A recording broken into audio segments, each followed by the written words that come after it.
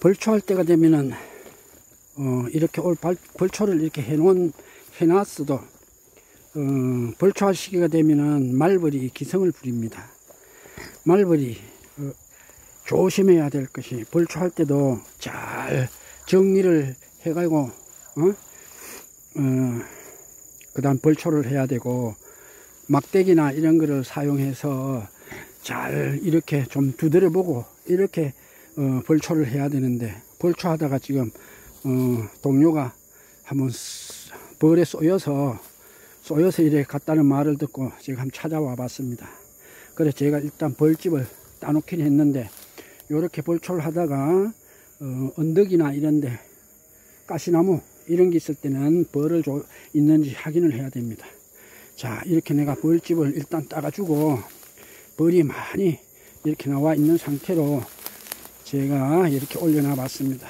자, 이 벌들이 이 벌집 속으로 다 들어가면은 어, 또 제가 한번 벌집을 따는데 자, 경계를 하는 벌도 있고 또 이렇게 지금 많이 나와 있는 벌들도 이렇게 있습니다. 자, 요 정도 벌은 올해 음, 장마가 많이 주고 이럴 때는 세력이 좀 약해서 벌집이 좀 작을 수도 있는데 요 정도면은 벌 크기도 어, 적당히 토종벌로 어, 토종 말벌로 크기도 적당하고 그 다음 이렇게 어, 말벌 크기도 좀 크고 근데 이제 제가 이렇게 하니까 어, 벌들이 많이 나오고 달려들고 있네요.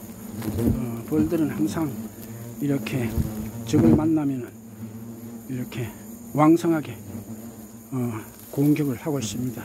공중에서 어, 벌 독을 쏘아 놓기도 하고 이렇기 때문에 아주 조심해야 되고 이런 말벌에 벌초하다가 한번 잘못 건드려서 몇 방 쏘이면 사망할 수도 있기 때문에 벌초 시기에는 항상 어, 조심을 하고 조심을 하고 어, 안전하게 벌초를 해야 되겠습니다. 이렇게 어, 제가 건드려 보니까 벌이 아주 많이 나오죠. 이렇게 벌이 많이 나오고 있습니다. 자, 이렇게 벌이 많이 나오는데 어, 또 조금 있으면 이렇게 먹이 활동도 하고 안에는 애벌레도 있고 새끼들이 많이 있기 때문에 이 벌들이 먹이 활동을 하면서 새끼를 기르기 위해서 이렇게 먹이를 어, 소화시켜서 이어 어, 들어와서 새끼들에게 어, 주겠죠. 그 다음에 입구는 말벌은 입구가 이렇게 동그랗게 지어놨으면 입구가 하나입니다. 여기 구멍으로 막아도 되고 또 요 벌들 들어가면 지금 따놨기 때문에 어, 검은 망에다가 바로 집어넣고 작거를 잠그면은 끝이 나겠습니다. 벌이 대단히 많죠. 이렇게 한번 건드리면 왕왕왕왕 하면서 나오고 저를 공격할 수도 있어요. 이렇게 두드려 보죠. 두드려보면 막 나오죠. 이렇게 벌들이.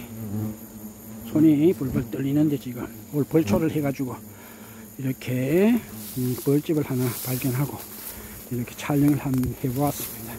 감사합니다.